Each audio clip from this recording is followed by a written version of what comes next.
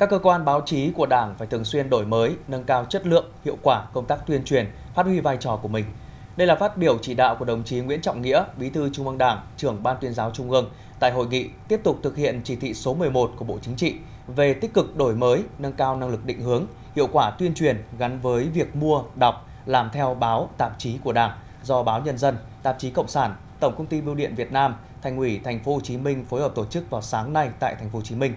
Đồng chủ trì hội nghị có các đồng chí Lê Quốc Minh, Ủy viên Trung ương Đảng, Tổng biên tập báo Nhân dân, Phó trưởng ban tuyên giáo Trung ương, Chủ tịch Hội Nhà báo Việt Nam, đồng chí Nguyễn Văn Hiếu, Ủy viên dự khuyết Trung ương Đảng, Phó Bí thư Thành ủy Thành phố Hồ Chí Minh, đồng chí Nguyễn Ngọc Hà, Phó Tổng biên tập báo Tạp chí Cộng sản. Hội nghị với sự tham dự của hơn 300 đại biểu, đại diện lãnh đạo các bộ ban ngành trung ương, thường trực tỉnh ủy, thành ủy, lãnh đạo ban tuyên giáo, hội nhà báo, báo đảng của 32 tỉnh thành phía Nam. Hội nghị tập trung thảo luận giải quyết các vấn đề như tích cực đổi mới phương thức truyền thông, tăng cường định hướng dư luận, nâng cao tính sắc bén trong đấu tranh tư tưởng lý luận, khẳng định vai trò nồng cốt, nòng cốt trong nền báo chí cách mạng Việt Nam, góp phần củng cố tăng cường sự thống nhất trong Đảng, sự đồng thuận trong xã hội và lòng tin của nhân dân với Đảng, nhà nước. Tại hội nghị, đồng chí Lê Quốc Minh, Phó trưởng ban tuyên giáo Trung ương, Tổng biên tập báo Nhân dân, Chủ tịch Hội Nhà báo Việt Nam cho biết, những năm qua các báo, tạp chí của đảng luôn nỗ lực đổi mới, không ngừng nâng cao chất lượng cả về nội dung và hình thức, làm tốt vai trò cơ quan ngôn luận và lý luận chính trị của đảng, diễn đàn của nhân dân. Theo đồng chí, để thực hiện tốt hơn nhiệm vụ chính trị được đảng, nhà nước giao phó, đáp ứng ngày càng tốt hơn nhu cầu của độc giả, nhất là trong bối cảnh các phương tiện truyền thông, xã hội phát triển mạnh mẽ như hiện nay – báo, tạp chí của đảng phải tiếp tục đề cao yêu cầu đổi mới phương thức truyền thông, thực hiện tốt mục tiêu tuyên truyền đúng, trúng, kịp thời, hấp dẫn.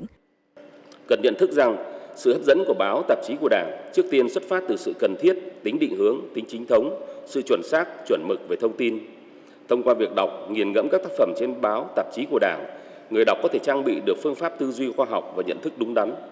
Do vậy, đổi mới phương thức truyền thông, tăng tính hấp dẫn của báo, tạp chí Đảng nghĩa là tăng cường tính định hướng dư luận, nâng cao tính sắc bén trong đấu tranh tư tưởng, tính thực tiễn và lý luận trong từng bài viết ấn phẩm. Để làm được điều này, báo, tạp chí của Đảng trong quá trình đổi mới phục vụ Đảng, phục vụ nhân dân phải luôn thấm nhuần lời dạy của Chủ tịch Hồ Chí Minh trong tác phẩm sửa đổi lối làm việc. Mỗi tư tưởng, mỗi câu nói, mỗi chữ viết phải tỏ rõ cái tư tưởng và lòng ước ao của quần chúng. Phát biểu chỉ đạo tại hội nghị, đồng chí Nguyễn Trọng Nghĩa, Bí thư Trung ương Đảng, trưởng ban tuyên giáo Trung ương, đánh giá thời gian qua với sự quan tâm đặc biệt của Đảng và nhà nước, báo chí ngày càng phát triển phong phú, đa dạng với nhiều kênh thông tin. Tuy với sự bùng nổ của các trang mạng xã hội, song vai trò của báo giấy, của tờ báo đảng vẫn còn nguyên giá trị trong tình hình mới hiện nay. Do đó, trong giai đoạn hiện nay, cần có sự kết hợp nhiều nhân tố để đổi mới hình thức, sáng tạo trong nội dung để ngày càng phục vụ tốt hơn, đa dạng hơn các tầng lớp nhân dân, định hướng dư luận.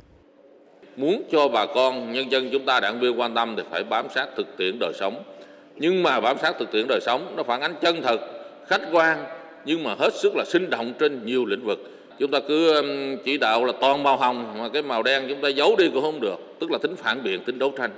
Thiếu sót khuyết điểm cũng thấy chứ không thấy là chỉ thấy cái, cái mặt màu hồng thấy chỉ những cái con số đẹp mà không thấy cái những cái khó khăn vất vả của các địa phương của trung ương của bộ ngành trong tình hình hiện nay. Cho nên nhưng mà chúng ta phải thấy là có khách quan có chủ quan và tạo một cái động lực để chúng ta vượt qua khó khăn vượt qua điểm nghẽn đó thì sẽ tạo được cái sự quan tâm trong tình hình mới hiện nay. Đồng chí trưởng ban tuyên giáo Trung ương đề nghị các cơ quan báo chí phải thường xuyên đổi mới, nâng cao chất lượng, hiệu quả công tác tuyên truyền, phát huy vai trò của mình, để được nhân dân quan tâm, nội dung tuyên truyền của báo chí phải bám sát thực tiễn, đời sống, phản ánh chân thực khách quan, sinh động trên nhiều lĩnh vực,